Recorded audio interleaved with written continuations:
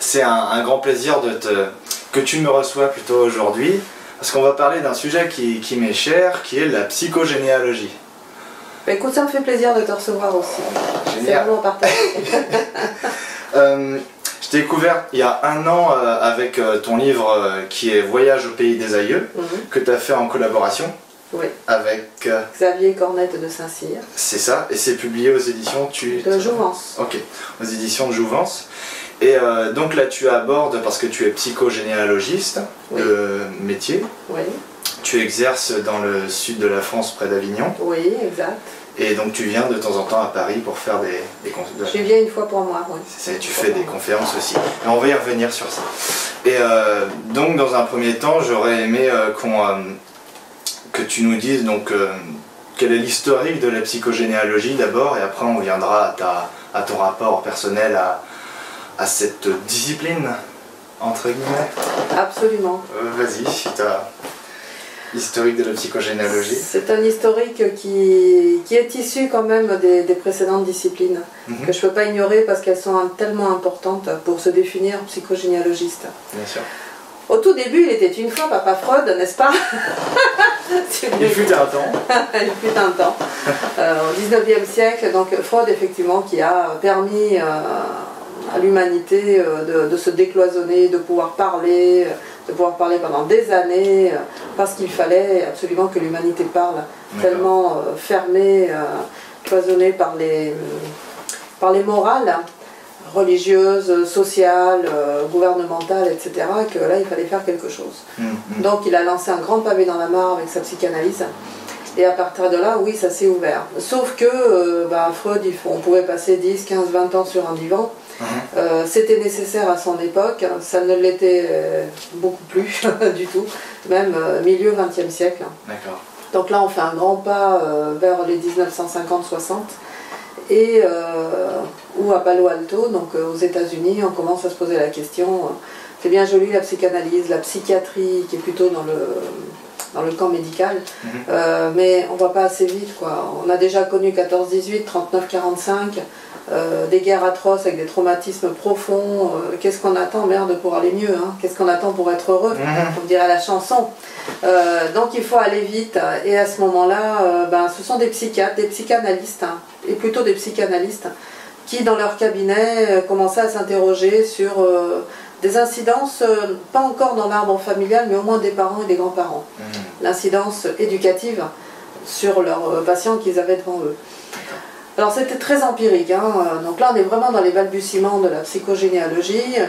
Il y a même une femme qui, qui avait écrit une euh, psychanalyste ou une psychiatre, je me souviens plus parce qu'elle a disparu, euh, qui en 39 avait écrit un livre, en 1939, avait écrit un livre pour euh, démontrer qu'une personne pouvait être tout à fait influencée dans ses comportements, ses choix de vie et ses décisions euh, par euh, non seulement la vie des parents, mais la vie des grands-parents. En tout cas, ce qui s'était passé dans sa famille. Et elle le démontrait par des histoires qu'elle a vues avec des patients. Et elle s'est fait descendre complètement. Alors ça devait être une psychiatre, parce que ce- c'est l'ordre des psychiatres des États-Unis euh, euh, qui l'a complètement descendu en disant que c'était hors, euh, hors champ, hors champ médical et qu'il fallait certainement pas tenir de tels propos, euh, que c'était bien médicalisé, euh, la psyché, et qu'on ne devait pas en sortir de là. Et euh, son livre a été détruit, il y a eu un autodafé sur la place publique. Et ouais. Donc vraiment un brûlot, quoi, le Ah truc ouais, ouais, ouais, qu'il ouais. fallait pas toucher. Comme on était en 39, on était déjà dans le début de la guerre mondiale, donc on a eu d'autres chats à fouetter, évidemment, avec la guerre mondiale, les nazis et tout ce qui s'ensuit, et on n'a plus du tout entendu parler de cette femme. Elle a disparu. D'accord. Après euh, arrivent les thérapies brèves, la PNL, l'analyse transactionnelle, l'hypnose ericksonienne et euh, toutes ces disciplines qui à chaque fois vont compléter la précédente euh, en apportant vraiment un grain de sable qui manquait. Et on en arrive euh, en Belgique, cher ami, Ah bah ouais. où tu résides en ce moment, bah j'essaye d'y résider. Ouais. ça. et où va se développer en 1982, donc c'est quand même beaucoup plus récent, l'analyse systémique. D'accord. l'analyse systémique qui se propose d'analyser les systèmes. Parce que l'analyse transactionnelle, la PNL, euh, l'hypnose ericksonienne s'intéressait à un individu. Là, l'analyse systémique s'intéresse au système dans lequel évolue l'individu. Et à partir de là, on va commencer à créer des ensembles, tu sais, comme dans les maths. D'accord, oui, oui, bien sûr. Il y a les, les relations que tu as avec certaines personnes de la famille qui vont créer des jeux d'alliance, comme on dit en sociologie, des organisations, des entreprises.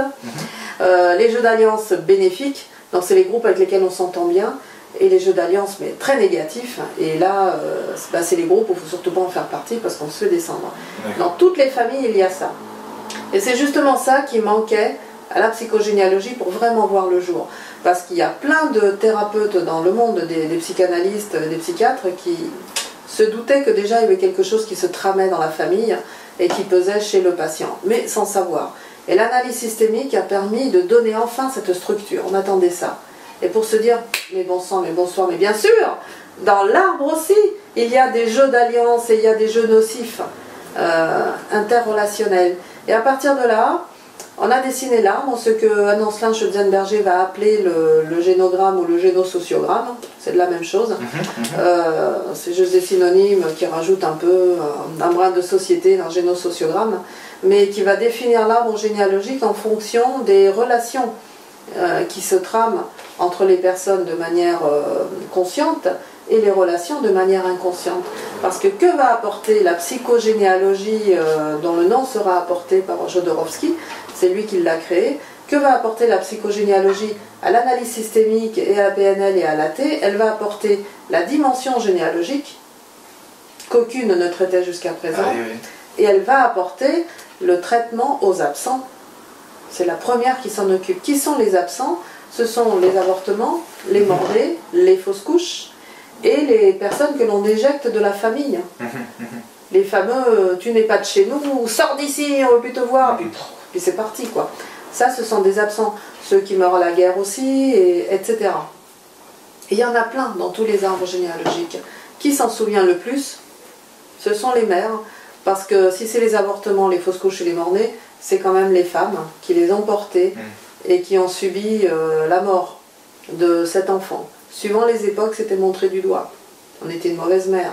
Tout de suite, on n'avait pas le bon ventre, on n'avait pas le bon corps. Donc qu'est-ce qu'on faisait de notre corps? Etc. Donc tu vois que les codes moraux, sociétaux et religieux aussi euh, ont façonné des traumatismes intérieurs psychologiques chez les individus, principalement chez les femmes. Donc euh, la psychogénéalogie s'est intéressée euh, de manière principale aux femmes en disant une expression que j'adore tellement elle est belle, c'est qu'on privilégie l'utérus. Tu vois, c'est magnifique.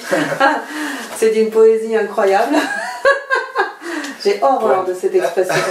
Ouais, mais pour une fois qu'on met plus la femme en avant et tout ça, donc c'est.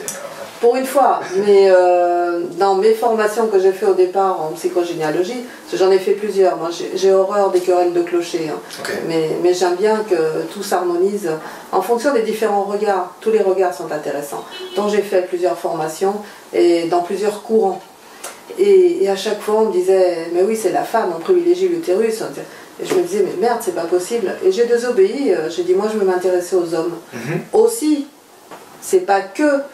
Mais je veux dire, pourquoi s'intéresser à une moitié de l'humanité et pas à l'autre Bien sûr. Et quand on fait un enfant, on le fait à deux, autant les hommes que les femmes.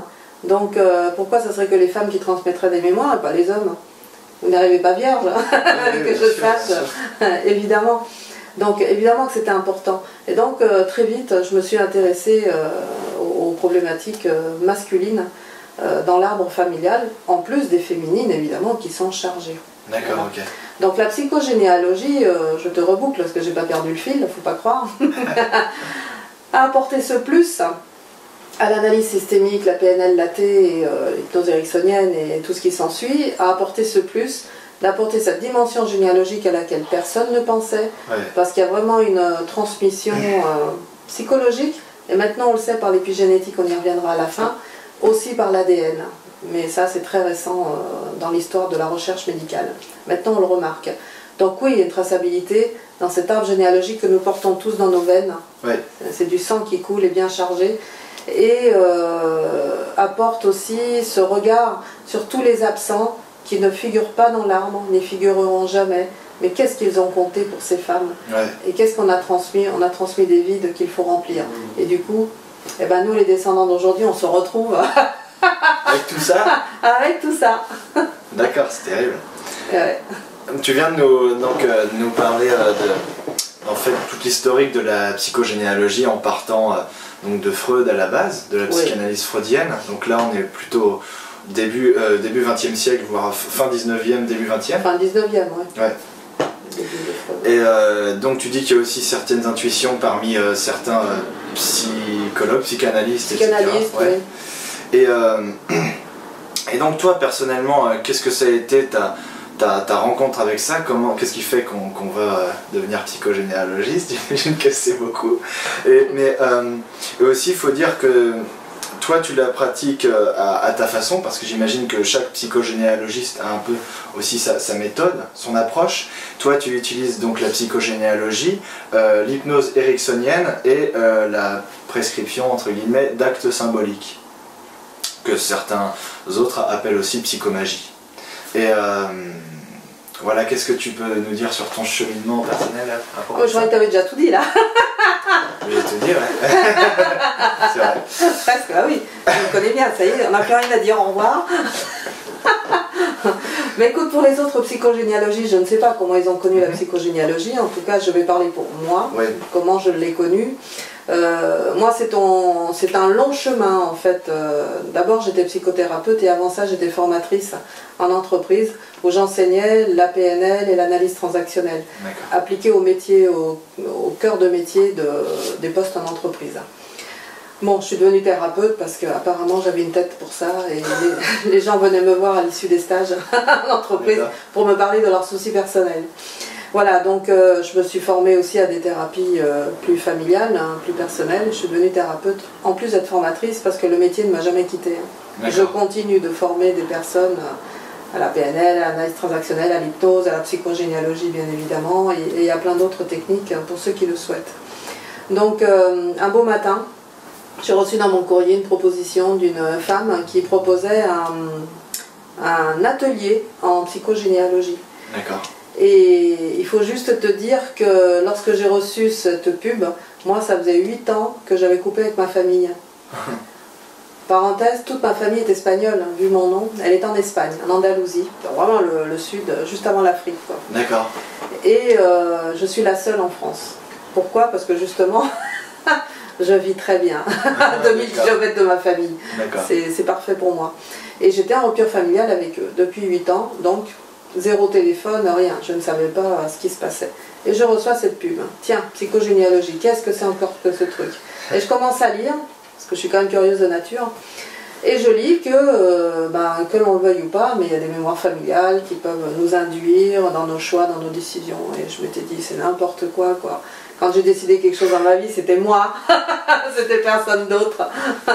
Au contraire, j'ai très souvent bravé euh, les- la famille euh, pour euh, vivre et m'imposer. Et ça, il a fallu que je mène des guerres et des batailles dans ma famille Ouais. pour pas mal de choix importants dans ma vie. Donc je me disais, attends, si j'avais été influencée par la famille, mais je serais en Andalousie avec 10 gosses et, euh, et un homme qui me trompe, quoi, sans arrêt. Ça, c'était vraiment ce qui se passait.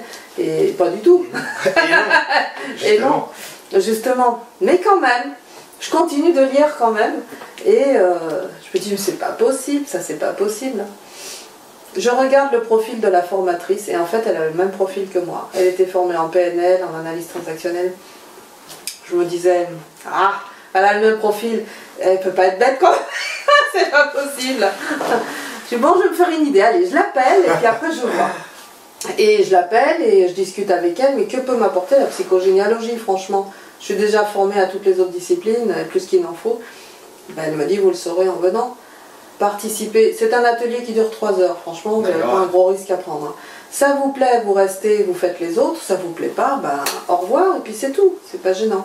Moi j'aime bien qu'on me parle comme ça, donc euh, j'y suis allée, et en fait j'y suis restée. Ouais, ouais. parce que ça m'a tellement bluffé. euh, C'était incroyable, c'était une fenêtre ouverte à plein de possibles. Mais très vite, hein, il a fallu que je contacte ma famille pour avoir des renseignements, parce que je n'avais aucun renseignement. J'avais couvert avec ma famille. Donc t'as renoué un peu Je voulais rien savoir, bah oui. Et je m'étais dit, je sais quoi, j'appelle mes parents, ça fait 8 ans que je les ai pas appelés. Bah, soit on me raccroche au nez, soit on me répond. Mhm. Mais je serai fixée. Et en fait, ils sont restés euh, deux bonnes heures au téléphone. Ils m'ont donné tous les renseignements que je voulais dans l'arbre familial.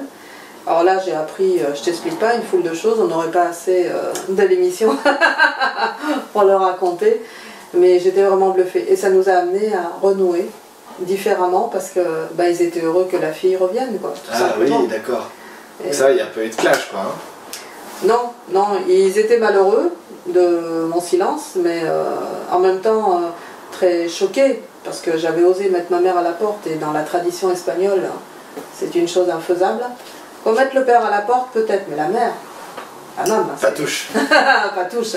C'est la femme sacro-sainte, oh là là, c'est plus que l'utérus, là, c'est vraiment. Et j'avais osé faire ça, donc euh, non, j'étais persona non grata.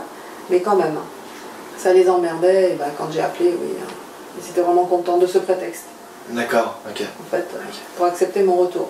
Je ne l'ai pas revu tout de suite, hein, je les ai revus euh, bien 5 ans après, quelque chose comme ça. D'accord. Je me suis décidée à faire le voyage euh, pour les revoir physiquement. Mhm.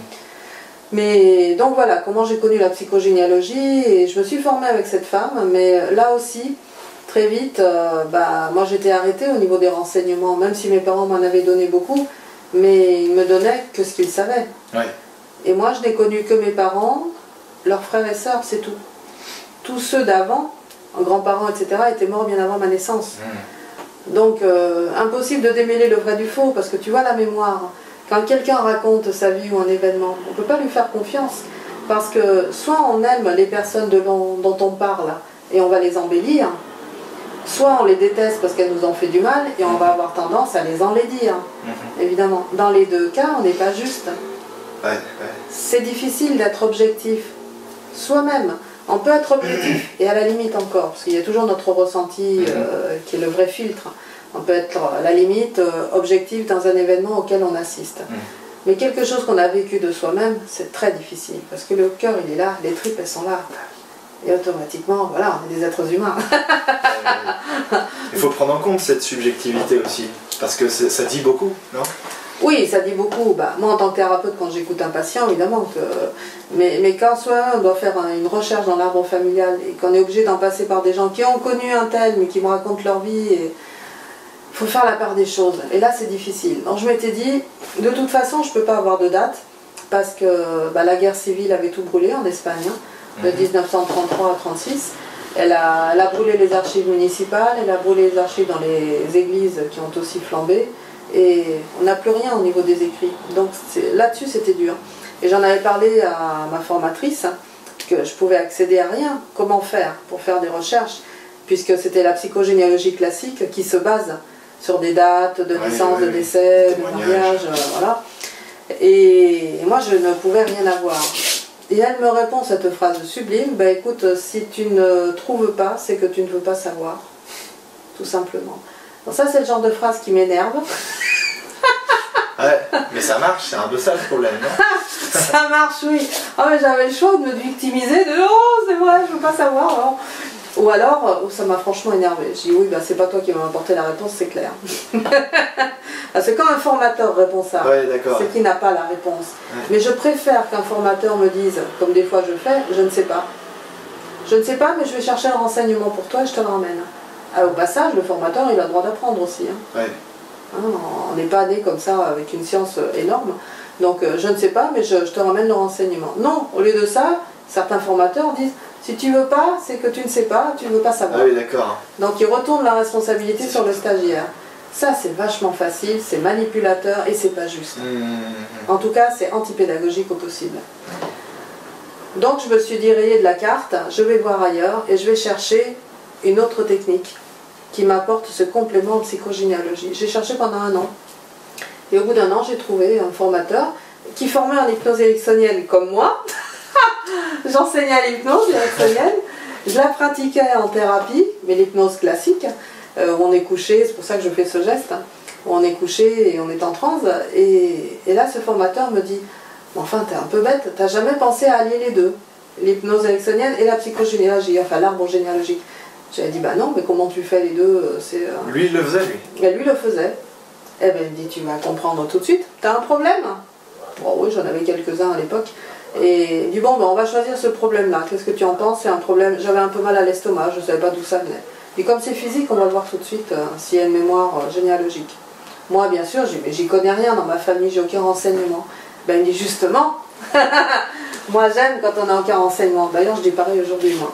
Euh, comme ça, tu vas te lâcher et tu chercheras pas à contrôler les, les renseignements. Bon, très bien. Et il me fait faire l'exercice et on remonte à la 7e ou 8e génération. Ça veut dire euh, au 19e siècle? Non, c'est. On compte une moyenne de 25 ans par génération, donc Ah ouais. euh, dans les 150 ans, quoi, Ok. grosso modo. Bon, chose invérifiable par mois, parce que bah, tout a brûlé, quoi. Mais je fais l'exercice, je trouve effectivement une raison euh, incroyable dans mon arbre face à un traumatisme que vivait un aïeul et que j'ai revécu dans l'hypnose, et qui m'amène ensuite le lendemain à ne plus avoir mal à l'estomac. D'accord. Oh, je me dis c'est magique, je vais attendre un peu, on sait jamais, euh, quoi que ça soit. Et non, non, et j'avais plus mal du tout. Je rappelle le formateur. J'ai on peut traiter un autre problème, hein, parce que je veux juste savoir si c'est vrai ou si c'est un coup de chance. Dis-toi si tu veux. Donc j'y retourne pour un autre problème, bis repetita. Voilà, je me dis écoute, euh, ouais, je me fiche de savoir si le renseignement est vrai ou s'il est faux, mais la chose d'aujourd'hui a disparu. Donc pour moi c'est la réponse euh, la plus magnifique qui soit, c'est que ça marche. Ça marche. ouais. Donc je lui dis tu me formes à cette technique et, à partir de là, bon il m'a formé. Ça doit faire dans les euh, 14-15 ans, quelque chose comme ça. Et ben, bizarrement, dans ma patientèle, j'ai un très fort pourcentage de personnes issues de pays étrangers Uh-huh. qui la plupart ont disparu, comme l'Arménie, etc. euh, et qui n'ont rien sur leur famille euh, ni aucun document, comme c'était mon cas. Comme j'ai aussi des personnes qui sont orphelines, sorties de la DAS, donc qui n'ont rien, aucun renseignement sur leur biologique, leur arbre biologique. Et puis j'ai des personnes aussi qui sont semi-orphelines, ou nées de pères inconnus ou, euh, de mères sous X. D'accord. Pareil, donc ça, ou des gens adoptés, enfin bref, j'en ai beaucoup, beaucoup, beaucoup dans ma patientèle. Normal, parce que j'apporte une réponse à ces personnes-là, Ouais, qui autrement ouais, ne l'auraient ouais. pas. Ils vont voir un psychogénéalogiste classique, euh, vous n'avez pas de date, comment je fais moi? Bah oui, D'accord. donc euh, ça arrête là le processus. D'accord, alors euh, résumons si on peut le faire brièvement. La psychogénéalogie étudie donc les, les influences des membres de la famille jusqu'à très loin dans l'arbre généalogique Oui. sur l'individu et les Oui. relations entre les membres de l'arbre généalogique. L'hypnose ericksonienne te permet de remonter dans les mémoires Oui. généalogiques. Donc, donc voilà, par l'hypnose, par la transe. Mm. Et- Via l'in- via l'inconscient en fait. Euh, L'inconscient est notre bibliothèque D'accord, c'est ça. qui nous C'est donne comme un accès archive, quoi. Ouais, D'accord. tout à fait. Et euh, grâce à ça, tu peux cibler le- le pro- la source du problème et le traiter plus facilement grâce à un- une conscientisation. Comment ça marche ça? Ah non, c'est qu'il y a, sous hypnose, la personne est debout, hein, je te précise, elle est debout, elle évolue dans son arbre et, euh, et elle revit en fait l'événement. C'est comme si l'aïeul sortait de ce corps D'accord, ouais, ouais, ouais. et que euh, le patient on revit la situation, mais il la vit, il, voit, il la voit, pardon. Euh, il voit le décor, il voit les personnes. C'est vraiment, il fait un bond euh, en arrière dans le temps et il se retrouve être cet aïeul. Donc il revit le traumatisme. Il le sent, alors il y a des pleurs, il y a des cris. Des fois il n'y a rien, hein, c'est juste raconter l'histoire, mais on a vraiment tous les gradients en termes de, de sensations. D'accord. Et quand euh, moi j'entends que j'ai l'histoire au complet, donc j'interviens aussi. hein. Quand je vois que l'aïeul est un peu filou, il ne veut pas tout dire, donc euh, je pose des questions. euh, il faut que je sache, moi, que j'ai toute l'histoire au complet, tout le traumatisme. Du moment que je l'ai, là je donne au patient le protocole énergétique pour soigner son aïeul.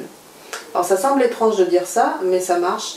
C'est un protocole énergétique qui change l'énergie, qui les relie. Parce qu'on est toujours relié à notre famille. On n'a pas de ciseaux pour couper, ça Ouais, n'existe ouais. pas. C'est des fils invisibles. Donc euh, c'est plus malin de modifier la qualité, la teneur de cette énergie, Mhm. euh, plutôt que d'essayer de couper par des actes euh, qui ne seraient pas bons en plus. Ça, il faut faire attention. Donc je leur donne un protocole de soins qu'ils suivent. Et ils changent l'énergie qui était nocive en énergie libératrice, énergie de guérison. Et à partir de là, on finit l'exercice. Ensuite, on débrief. Le tout de la séance dure à peu près une heure et quart, une heure et demie. hein. D'accord. Et ils repartent euh, légers. Donc ils ont des faits de mémoire. J'ai besoin de deux séances pour ça. hein. Côté paternel, côté maternel. Je fais toujours les deux branches. D'accord.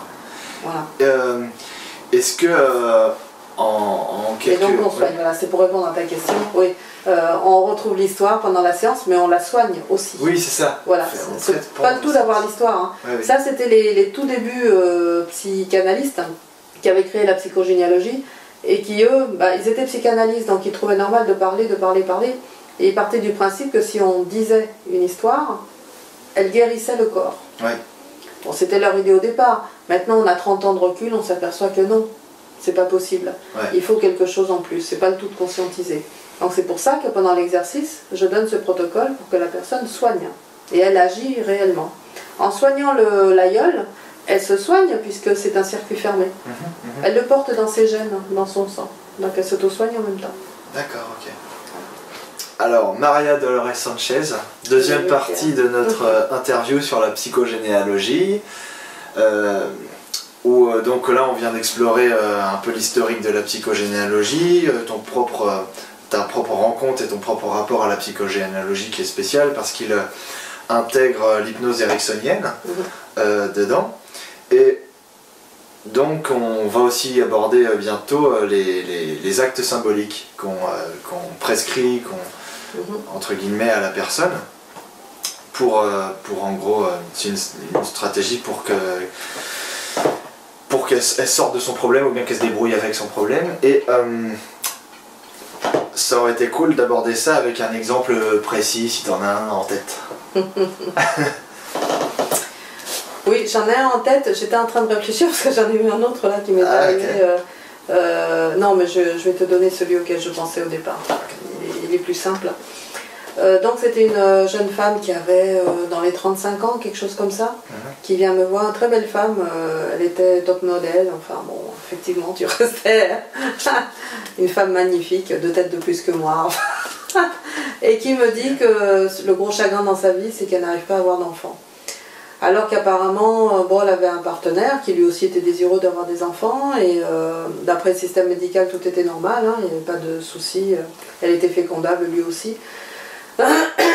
Et euh, malgré tout, euh, pas de fécondation. Donc euh, on remonte les mémoires familiales à ce sujet. Alors je me souviens que d'une histoire chez elle, parce que juste après elle est tombée enceinte. Mais donc c'était dans la mémoire maternelle pour le coup. On avait démarré et à quelques générations de là, je demande, parce que dans la technique sous hypnose, je parle toujours à l'aïeul que j'ai devant moi dans la position de l'âme dans laquelle je suis. Et donc là, je lui dis euh, bah, Bonjour, vous êtes la, je ne sais plus, la troisième ou quatrième arrière-grand-mère de euh, une telle. que ressentez-vous? Et l'aïeul me répond en rigolant euh, C'est pas moi la mère D'accord. j'ai été surprise. J'ai commencé à C'est pas vous, j'ai une traçabilité. Non, non, non, puis vraiment en rigolant. Je ne suis pas la mère.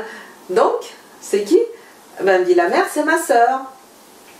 J'ai attendu, euh, racontez-moi ce qui s'est passé. Euh. c'est quoi cette histoire d'usurpation d'identité? Elle me dit Pas du tout, c'est pas une usurpation d'identité. Mais ma soeur euh, était enceinte. Et puis au moment de l'accouchement, je me trouvais seule avec elle dans la maison, il n'y avait personne. Et ça a été un moment d'urgence. Il a fallu que j'accouche ma soeur. Et en fait, au moment où j'ai enfin réceptionné le bébé dans mes bras, ma soeur est morte. D'accord. Voilà, septicémie, moi comme souvent, euh, c'était assez classique quoi à l'époque. Et euh, elle me dit j'ai dû gérer la situation comme j'ai pu et bah, cet enfant il était bien vivant, euh, tout chaud dans mes bras, je l'ai adopté naturellement.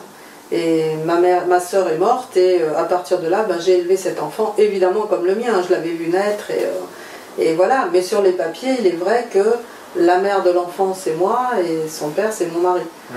euh, officiellement. Et c'est ce qui est resté dans la traçabilité euh, de l'arbre généalogique de ma descendante. D'accord. Mais je voudrais juste rétablir la vérité, c'est que c'était bien ma sœur, euh, la vraie mère de cette petite fille. Et bah, du coup, je lui demande, je dis, bah, est-ce que vous pourriez me donner le prénom de votre sœur, là où elle est enterrée? Et elle me donne tout ça. Moi, je tombe des nues, hein, c'est un peu fabuleux. Il y a des moments où oui, surtout que la, patiente, entre guillemets, elle n'a pas ces connaissances-là forcément. Consciemment, non, aucune. Donc euh, bah, je retiens euh, tout ce qu'elle me dit, je note, et puis quand on finit l'exercice, donc évidemment on met en paix euh, la gueule, il y a toute une technique énergétique à ce sujet, on met en paix la gueule, et quand on discute ensuite avec ma patiente, je lui parle de tout ça, donc elle note et elle me dit bah, écoutez je vais vérifier. Euh, puisque maintenant c'est possible de vérifier, mais j'ai aucune connaissance de cette femme, quoi. Et donc elle vérifie, effectivement, elle est allée au cimetière en question, il y avait bien une tombe euh, au nom de cette jeune femme, euh, et voilà. Et là, on est resté bluffés toutes les deux. Donc je lui ai demandé de faire un acte symbolique, je cherchais le mot. C'est pas psychomagique parce que j'ai pas les mêmes façons de faire que Oui. Jodorowsky. hein. Euh, lui, il a sa technique, moi j'ai la mienne. Et euh, j'ai demandé à cette patiente de faire une lettre hein, à cet aïeul qui, n'avait, qui avait disparu de l'arbre, en fait. Et qui mettait sa sœur euh, pas à sa place. hein. Que sa sœur devenait la mère de sa fille. Enfin bref, euh, Oui, oui, oui. c'était un bordel. Et c'est ce qui permettait de comprendre aussi que dans la descendance de cette dame, les femmes mouraient en accouchant, à chaque fois. Donc le bébé est élevé par une euh, belle-mère à chaque fois et, et arrivé à ma patiente, ben, bizarrement, elle ne pouvait pas concevoir d'enfant. Parce que moi j'en avais déduit qu'en fait c'était la mémoire de tous ces enfants qui étaient élevés par une autre femme que leur mère, en plus de la mémoire de la mère qui donnait le jour en trouvant la mort Mmh, mmh, mmh. et qui trouvait ça très dur. quoi. Oui. Donc cette frustration est restée de- d'avoir à subir euh, une telle chose. Et chez les maris, c'est ce que je vais développer dans la série Pouvoir être père de la Gazette de la psychogénéalogie. C'est un des volets. Euh, on y reviendra après. Ouais. mais chez les maris, ça donnait euh, je suis responsable de la mort de ma femme. Parce que qui c'est qui l'a mise enceinte? C'est moi. Et elle meurt du suite, euh, des suites de ça, parce que c'est l'accouchement, hein. c'est l'aboutissement de la grossesse. Et alors ça, ça crée aussi un traumatisme violent chez les hommes, qui aboutit à une stérilité euh, aujourd'hui. quoi. Alors des fois stérilité avérée médicalement, et des fois pas du tout, mais stérilité psychologique, on va appeler ça comme ça, Oui, oui, où oui, l'homme ne, ne peut pas concevoir parce qu'il en est empêché par euh, les autres au-dessus. quoi.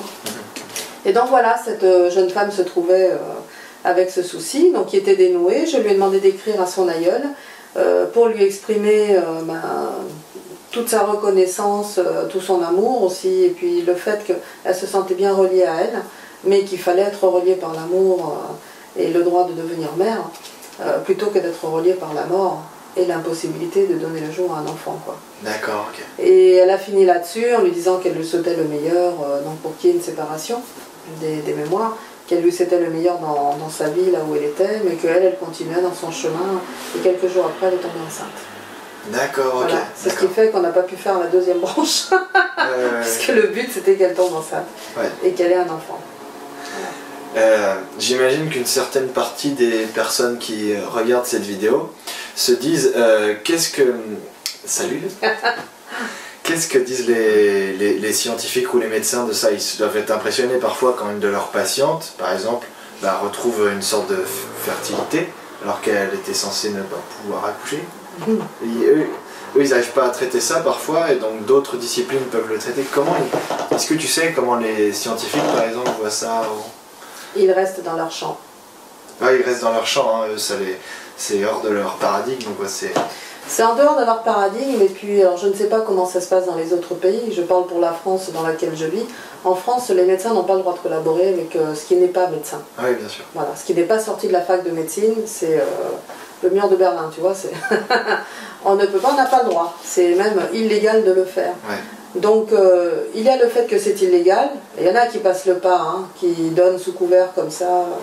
vous y allez de ma part, mais bon, c'est tout. Ils le font, mais c'est pas la majorité. Ouais, ouais, ouais. La majorité se réfugie derrière le fait que c'est illégal, ils peuvent pas, et à partir de là, si le patient dit je suis enfin tombée enceinte parce que euh, j'ai été voir un tel, le médecin dit très bien, et puis c'est tout. Il ouais. s'en mêle pas.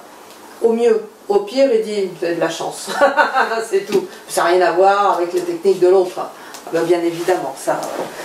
Donc, euh, où ils reconnaissent, ils disent rien, ou ils reconnaissent pas, et c'est la loi. Voilà. D'accord. Donc, euh, c'est très difficile de collaborer avec un médecin. Même si de manière individuelle, il y en a certains qui le font. D'accord. Mais, voilà. C'est pas. Parce qu'il y a des médecins qui diffusent des cartes de visite, des fois, de, de psychothérapeutes euh, ou Mm. autres, mais, mais ils sont très peu, vraiment très peu. Alors ça, c'est les médecins. Et les, euh, et les, les chercheurs scientifiques, c'est vrai que c'est intéressant de, de savoir qu'on peut, euh, qu'on peut via l'hypnose, ericksonienne, et, etc., remonter dans des mémoires qui se trouvent être euh, corporelles pour le coup. Est-ce que... Quel est ton avis sur ça? Est-ce que euh, les, les- les transmissions euh, transgénérationnelles, euh, est-ce qu'elles se font par la voie de l'ADN, par la voie de l'inconscient, du corps, de, de- est-ce que c'est une transmission sociale, par la, le- la- la mimétique Je sais pas.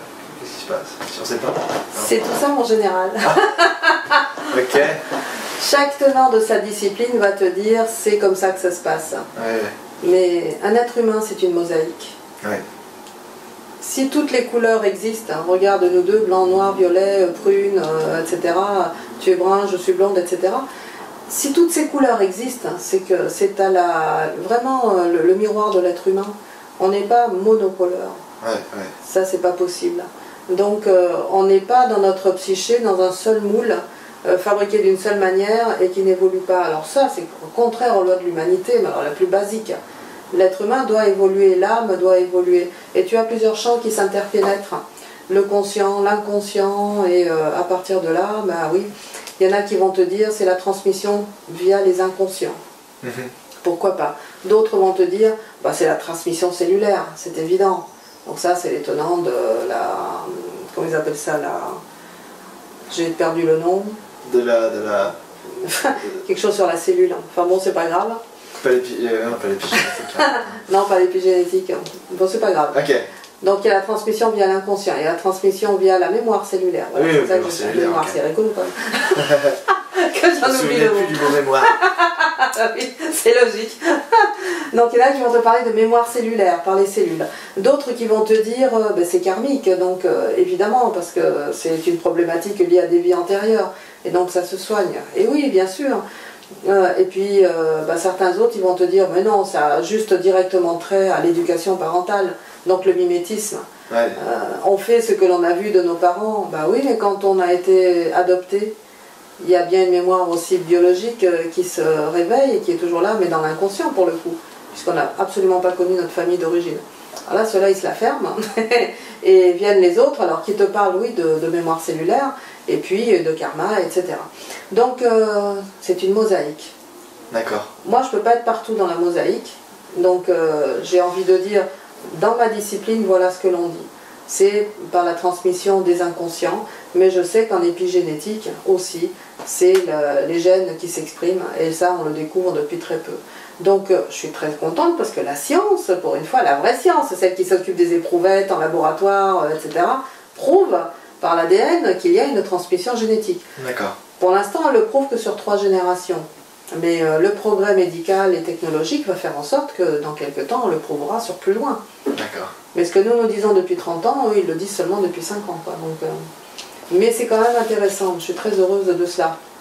Donc pour en revenir à ce que disent les médecins, euh, moi je rêverais, c'est de collaborer avec un professeur en épigénétique. Uh-huh. Où on puisse, tu vois, prélever, faire une prise de sang, de mon patient au début d'un suivi et une autre prise de sang à la fin d'un suivi, que l'on voit ce qui a changé. Parce que ça a changé. Pourquoi ça changerait dans l'histoire de la personne ou même dans sa, dans sa pathologie, si elle vient pour une pathologie euh, de, santé euh, Pourquoi ça changerait complètement et pas du tout dans, sa biologie, dans sa numération sanguine? Enfin, il faudrait être... Euh, forcément qu'il y a un lien, que tout bouge, que tout s'exprime, que tout est relié. C'est une unité, quoi, c'est forcément. Ben, ben, bien sûr, c'est une unité. Donc je rêverais de ça, mais j'ai contacté plein de, professeurs en épigénétique, aucun m'a répondu. Même pas une réponse pour me dire ne serait-ce que non Rien Donc, euh, pour te dire qu'il y a vraiment des, des, lois. Coincé, ah, c'est hyper coincé, ah oui, oui. Alors qu'on est chacun dans un bout de la chaîne. Chacun en traite de la même chose, mais pas avec le même regard. Si on se tenait la main, mais on irait beaucoup plus vite. Franchement. C'est un, beau message, mais ouais. Bah oui. C'est vrai, c'est vrai, non, c'est vrai. Donc je lance une bouteille à la mer. Hein, si vous connaissez des chercheurs en épigénétique, euh, je veux bien collaborer pour me les amener. Ou vais vers eux, mais vraiment, j'aimerais. J'aimerais vraiment. Justement, euh, on a dit qu'on allait l'aborder. Euh, qu'est-ce que dit l'épigénétique par rapport à tout ça? Alors de manière très vulgarisée, parce que c'est ce que je développe à la fin de mon livre, parce que quand tu lis les écrits du CNRS et de l'Institut Curie, c'est quand même très abscon. Hein. Euh, il faut être sorti de chez eux pour comprendre. Donc c'est une vraie moulinette de l'esprit pour comprendre. Bon, schématiquement, ce qu'ils disent, c'est qu'une cellule s'exprime en fonction de son, de son environnement. S'exprime, ça signifie en épigénétique que la cellule réagit à un environnement. Comme nous, êtres humains faits de milliards de cellules, on va réagir différemment suivant l'environnement dans lequel on est, et c'est logique. C'est du bon sens. C'est du bon sens. Arriver à la micro, micro, micro, c'est-à-dire à la cellule propre, elle aussi, elle évolue euh, dans son environnement. Oui, mais c'est nouveau, parce que l'épigénétique, c'est une branche de la génétique, qui, elle disait, il y a les gènes, il y a l'ADN, et tout ça, c'est figé. Euh, ben non, l'épigénétique, elle dit que non, tout bouge. Donc si la cellule bouge sans arrêt, ça veut dire que nous aussi, que tout s'interpénètre.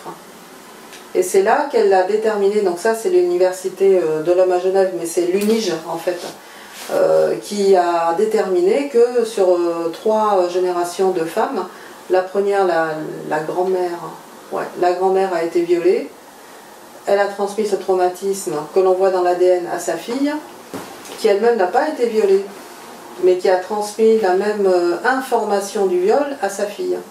Donc la petite fille est porteuse de l'information du viol de la grand-mère sans le savoir. Parce que bien sûr, la grand-mère ne l'a pas dit, ça reste secret. D'accord. Et il y a une traçabilité pour autant. Donc s'il y a une traçabilité, il y a un marqueur sur l'ADN, ça veut dire qu'à tout moment, les cellules peuvent réagir et attirer cette information de viol. Mhm, mhm. puisque l'information existe. Mhm. Donc c'est ça qui est terrible. Et en psychogénéalogie, qu'est-ce qu'on dit? Eh bien, c'est qu'on est porteur de mémoire et que l'on va se créer, mais sans le vouloir, cet environnement qui était celui d'il y a quelques générations pour revivre la même chose. Enfin, c'est incroyable ça. Oui, oui, oui. Donc, il faut retrouver l'information d'origine et le défaire. Ça pose la question, euh, en toute logique, pourquoi est-ce que ça ressurgit à un moment? Est-ce que c'est pour dire, là, il y a un problème dans le système familial? Par exemple, il y a eu un viol et ça se répète trois générations après. Si ça se répète, c'est fait pour. Pour que ça s'arrête. C'est pour que ça s'arrête Eh oui, parce que la douleur est la même. Hein. C'est celle-là qui se transmet. Et on ne sait pas pourquoi, parce qu'on a perdu l'histoire. Déjà quand on l'a eu, l'histoire. Mais quand on ne l'a pas eu parce que l'aïeul n'a rien dit, c'est resté secret, alors c'est encore pire. Il faut que ce secret, tu sais qu'un secret de famille, c'est la même famille de mots, toi qui aimes bien jouer avec les mots. Mhm. Le secret secrète une énergie. Et ça sécrète une énergie qui est nocive. Puisque euh, quand c'est tu, on a un des cinq sens qui ne fonctionne pas, qui est la bouche. Il faut que les quatre autres compensent ce sens qui ne fonctionne pas. Donc on va exprimer euh, cette histoire-là de toutes les manières possibles. Mhm. En la revivant, en la créant, et parce que l'arbre, il demande à être soigné. D'accord, c'est ça que je fais savoir. Et oui, et comme il demande d'être soigné de cette douleur qui est invivable parce qu'elle pourrit l'arbre, il faut faire vivre l'histoire et à nouveau et la répéter jusqu'à ce qu'il y en ait un qui trouve la ressource nécessaire. Donc c'est le thérapeute, c'est l'environnement, c'est sa décision, c'est tout ce qu'on veut. Il y a dans les actes symboliques, il y a l'acte symbolique, il y a l'acte réparateur. D'accord, ok. Et c'est pas pareil. L'acte réparateur, c'est celui que tu fais de ton vivant, parce que c'est toi qui as décidé et tu changes l'histoire et tu la changes pour tout le monde, c'est fini. L'acte symbolique, c'est quand on agit exprès pour quelqu'un d'autre, mais avec des symboliques. D'accord. Pour le cerveau, c'est du pareil au même. Hein. Mais bon, on ne le vit pas de la même manière dans les deux cas. Mais la chaîne est arrêtée. C'est ça qui est essentiel à comprendre. Très bien, très bien. Et euh, alors, si euh, l'hypnose ericksonienne ne marche pas forcément pour un patient, est-ce qu'on peut se permettre d'utiliser d'autres techniques ou pas? Oui, ben, oui, bien sûr. Il en existe très peu, hein, je veux dire, euh, parce qu'effectivement, euh, on constate en hypnose, et ça c'est pour toute la population, qu'il y a 15% de la population qui n'est pas hypnotisable. Ah oui, ok. On ne sait pas pourquoi, c'est observé, mais c'est comme ça. Ça laisse 85% possible, hein, mais 15% c'est pas possible. À chaque fois que j'ai trouvé ce cas où euh, mon patient ne répondait pas à l'hypnose, je faisais comment? Alors, jusque-là, jusqu'il y a trois ans, ce que je faisais, c'est que j'allais trouver une amie qui était voyante et qui elle me donnait l'histoire familiale qui gênait en fonction de la pathologie, enfin de ce que j'avais à soigner. Et après, moi, je travaillais en acte symbolique, psychogénéalogie classique, que je donnais à faire à mon patient. Je lui donnais l'histoire et les actes à faire. Ça, ça a fonctionné pendant des années et très bien. Sauf qu'il y a euh, trois ans et demi, j'ai été moi-même confrontée à, un deuil euh, très dur à faire qui était celui de mon mari, puisqu'on avait vécu 18 ans ensemble, il avait un cancer et en phase finale, il a voulu se marier avec moi. Donc on s'est marié, il a signé les actes de mariage et il est mort en posant le stylo. Hmm. Donc euh, c'est cet euh, événement qui, où je me suis retrouvée mariée et veuve à la fois, mhm. Qui m'a fait un pétage de quelque chose, mais le pétage il y a eu. Euh, une fois que j'ai pu gérer cette douleur dans les six mois qui ont suivi, je me suis aperçue qu'effectivement j'étais devenue médium à mon tour. Donc il y a un canal énorme qui s'est ouvert. Et euh, cette médiumnité, eh maintenant je m'en sers. Je n'ai plus besoin d'aller trouver une voyante pour, donner, pour avoir l'histoire familiale quand l'hypnose ne marche pas. Mais on me la donne tout de suite devant le patient. Hein. Si ça ne marche pas, euh, je note euh, l'histoire que l'on me donne, c'est mon guide hein, spirituel qui me la donne. Et à partir de là, ensuite, je retravaille dans le dossier moi-même, de manière classique en psychogénéalogie, qui sont les actes symboliques. Donc je rappelle mon patient et je lui. Il part avec son histoire, mais je lui donne les actes symboliques à ce moment-là. Et c'est à lui de défaire. Parce qu'encore une fois, ça n'est pas parce que je lui donne l'histoire que ça s'arrête. Non, il faut quand même défaire l'énergie avec des actes. Voilà, et cette médiumnité, bah, maintenant je la bénis parce que c'est quand même sympa. Bah oui, oui, oui. oui. Je vois, et, euh, et donc, euh, on parlait d'hypnose ericksonienne, maintenant on parle de, de médiumnité. Est-ce que c'est vérifiable parfois, euh, par exemple, quand tu remontes dans les mémoires généra- transgénérationnelles Est-ce que tu peux vérifier que, que l'hypnose ericksonienne, donc parfois, ça s'est vraiment passé dans, dans l'histoire familiale de la personne? Ce que Mhm. tu découvres par l'hypnose ericksonienne. Et pareil pour la médiumnité, est-ce que parfois ça se vérifie aussi? Certaines choses se vérifient quand elles sont vérifiables. Tu l'as dit, quand elles sont vérifiables. Elles sont vérifiables. Ah ouais, quand elles sont vérifiables, d'accord. Oui, oui, ça m'est arrivé hein, qu'il y ait des patients euh, qui euh, partent avec leur bâton de pèlerin et cherchent, parce qu'il faut vraiment chercher euh, dans des archives municipales, dans des... Bon, et il y en a qui ont retrouvé l'enseignement. À la virgule près, l'histoire était la même. Que celle qu'on m'avait donnée, euh, ou en hypnose ou euh, en médiumnité. Oui. Donc ça, c'est gratifiant. Parce que ça fait toujours la chair de poule, moi, quand il y a un patient qui me dit j'ai pu le vérifier. Et, et en plus, je suis tombée sur le même prénom, dans des dates euh, similaires et tout. Bah, c'est fabuleux. Bah oui, oui. Est-ce que tu acceptes cette métaphore? C'est comme si on avait la, la- Parce que moi je viens du milieu cinéma. On a comme la pellicule cinématographique de tous nos ancêtres dans, les, dans nos mémoires.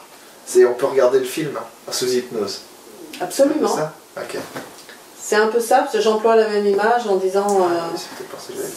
euh, Peut-être- on est Peut-être que connecté. je m'en souvenais. c'est Non, je ne sais plus, mais j'emploie souvent la même image avec mes patients en disant que les- c'est comme si on appuyait dans un magnétophone, mais, ou alors un, un film, un magnétoscope, Ouais. et on a tout le déroulé euh, complet. Mais tel qu'il s'est déroulé, c'est-à-dire il n'y a pas de déformation euh, due à la subjectivité, comme on disait au tout début. hein. D'accord, ok. C'est l'histoire telle qu'elle s'est déroulée avec euh, son traumatisme, et euh, c'est tout. Et à partir de là, on peut travailler valablement. Avec la distance généalogique, on peut le faire. D'accord. Et euh, donc, est-ce que toi, la, la- la suite de tes activités ou tes activités en ce moment, tu, tu dis que tu travailles donc exclusivement sur les hommes, hein, Là, je pour démarre. 9 mois, t'as dit, hein, Ouais. chose comme ça Alors, euh, alors t'as expliqué un peu pourquoi, parce que les hommes, c'est comme s'ils étaient un peu mis de, de côté parfois. Et, euh, et donc, spécialement aussi, t'as as, écrit un autre livre aussi, que j'ai oublié de, de dire, qui s'appelle Oui, histoire à chuchoter. Histoire à chuchoter. Alors, on va y revenir. D'accord. On va, on va y revenir. Et aussi, donc tu as créé, euh, alors ça c'est un, un, un- un site, Un site et Osez une formation individuelle oui, qui s'appelle Oser le dire. osez le dire, d'accord, ça, c'est- ça concerne plus particulièrement l'inceste. Les femmes qui ont connu l'inceste, hein, pour connu. qu'elles s'auto-soignent. En fait, euh, seules avec cette formation individuelle en ligne. D'accord, ok. Est-ce que donc on peut aborder ça dans l'ordre que tu veux, euh, que ce soit Premier thème, c'est que je vais d'abord c'est te finir au niveau de la médiumnité, puis après Oui, on entrera sur le reste. Oui. Je voulais juste rajouter que de ce fait euh, que je suis devenue médium il y a trois ans et demi, ça va faire à peu près trois ans que je travaille avec de manière assez régulière, puisqu'il ne se passe pas une journée sans que je canalise. Et ça me permet de suivre les personnes un peu partout dans le monde par Skype. D'accord. Oui, oui, ok. Voilà, c'est l'intérêt aussi. C'est que j'ai pas besoin d'avoir la personne physiquement devant moi pour, euh, pour la suivre, euh, la traiter.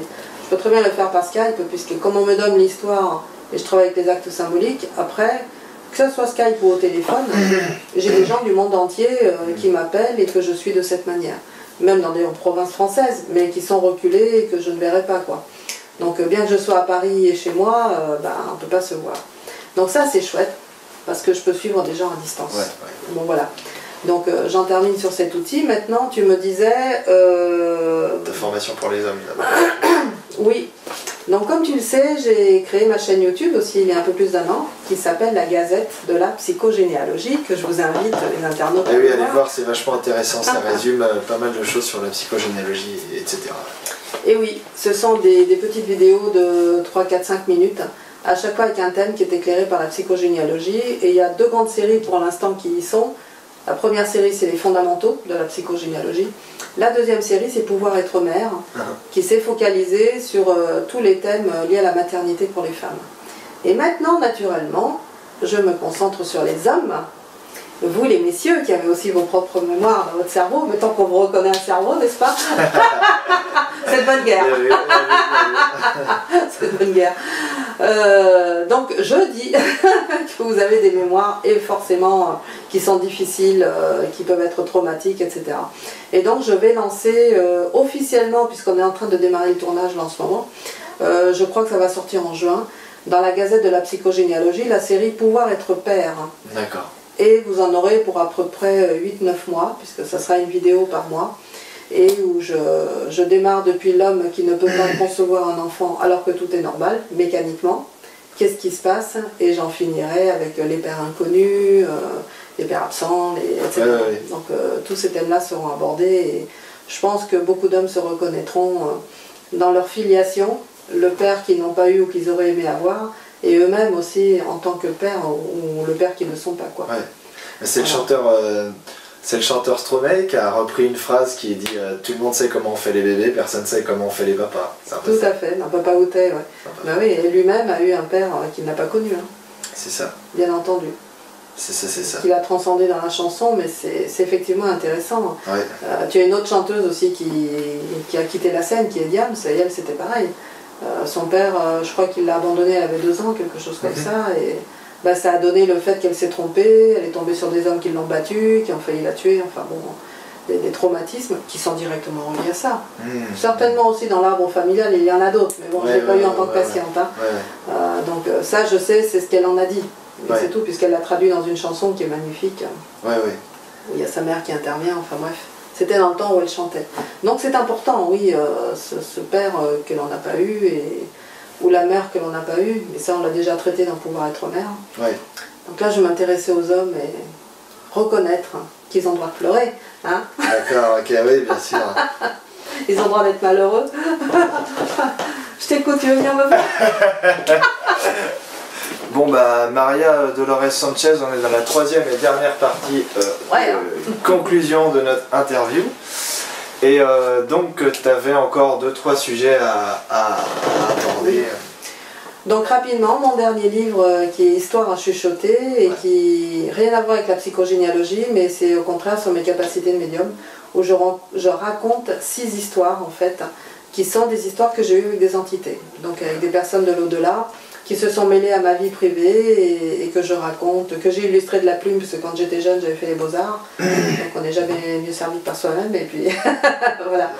Mais c'est un livre que je vous incite à découvrir, Histoire à chuchoter, édité chez Eddy Livre, et qui vous permettra de reconnaître que l'invisible existe pour de vrai et qui nous environne en permanence. D'accord. Voilà. Et le dernier thème que je voulais aborder, c'était Oser le dire. Uh-huh oser le dire, qui s'adresse aux, femmes euh, qui ont connu l'inceste petite hein, et qui gardent cette douleur, cette salissure en elles et ne peuvent pas en parler, ne sont pas reconnues.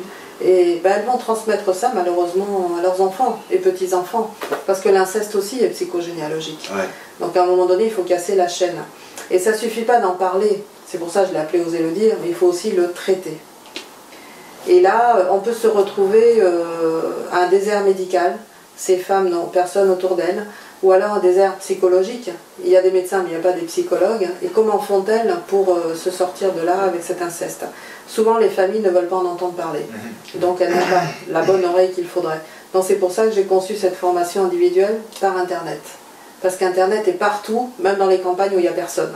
Bien sûr, Et là, elles peuvent être seules face à leur écran. Et euh, il y a une soixantaine de vidéos qui ont été tournées où je leur explique avec une trentaine de tests, elles évoluent, euh, elles apprennent à traiter tout cela. Et ma foi, euh, dans les témoignages que j'ai reçus pour toutes celles qui l'ont acheté dans le monde, puisque c'est Internet, donc c'est dans, dans, les pays francophones, mhm. elles sont très contentes. Il y en a qui ont poursuivi avec d'autres thérapeutes, tant mieux. Moi, ce que je veux, c'est vraiment, plus on est nombreux à traiter cela, plus vite les femmes sont soulagées. Et si les femmes vont bien et qu'elles sont nettoyées de ça, elles donneront le jour à des enfants qui iront bien. Et du coup, ben, écoute, au sens large du terme, l'humanité ira beaucoup mieux. Oui, d'accord.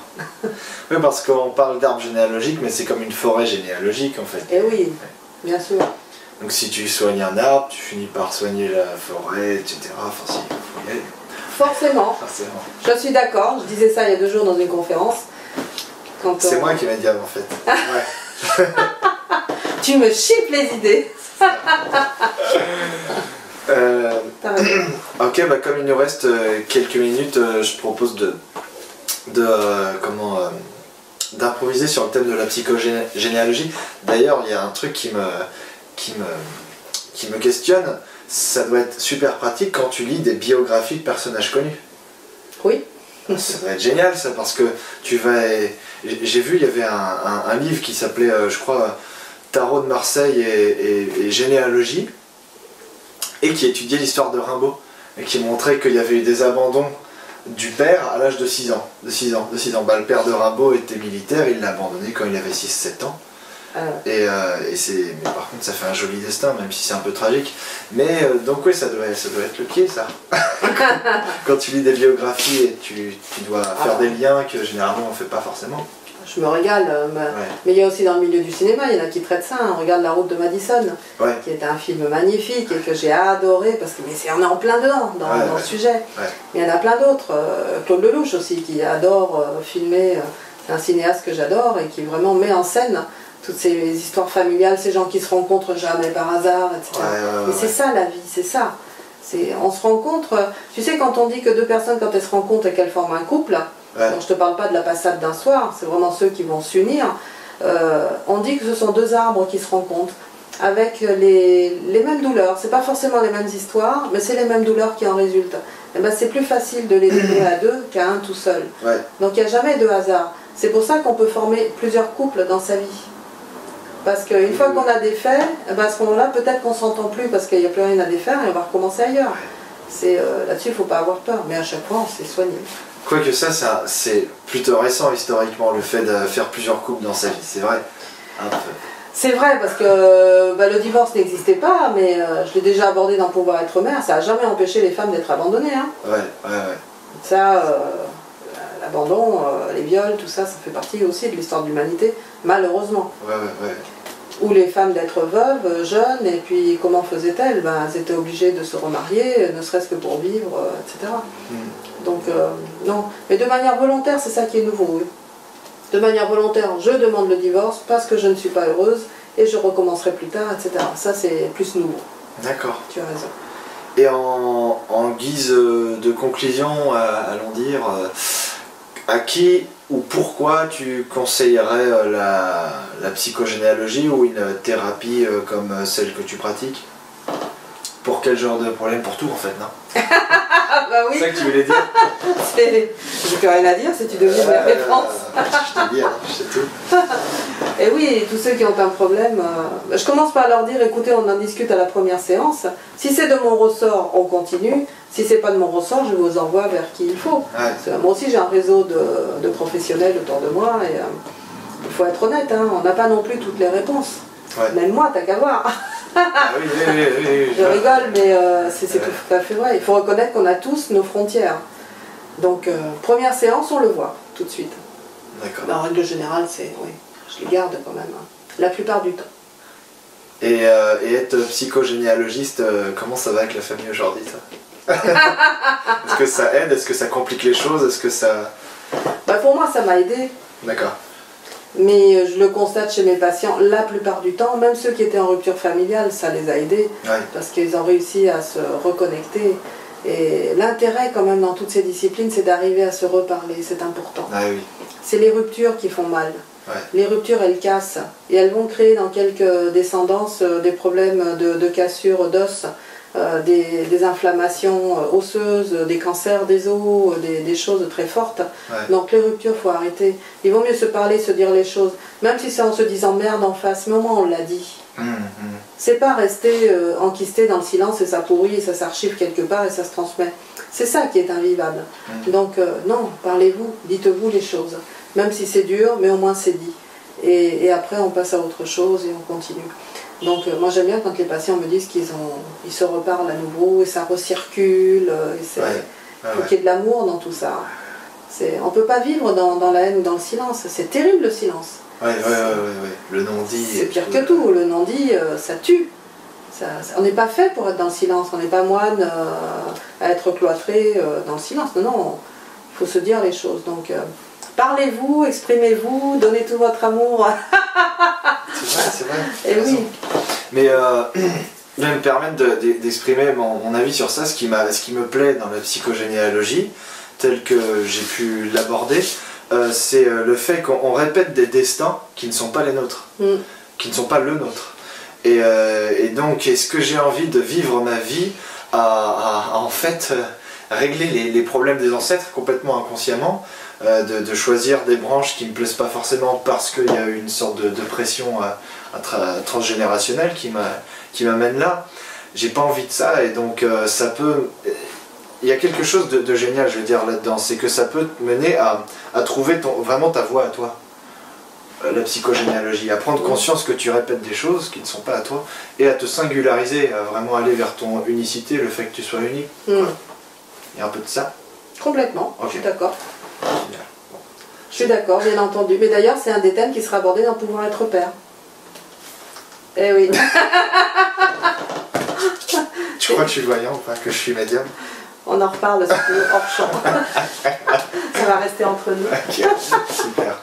Bah, euh, rappelons euh, vite fait, donc euh, tu as la Gazette de la psychogénéalogie en, en chaîne YouTube. Oui.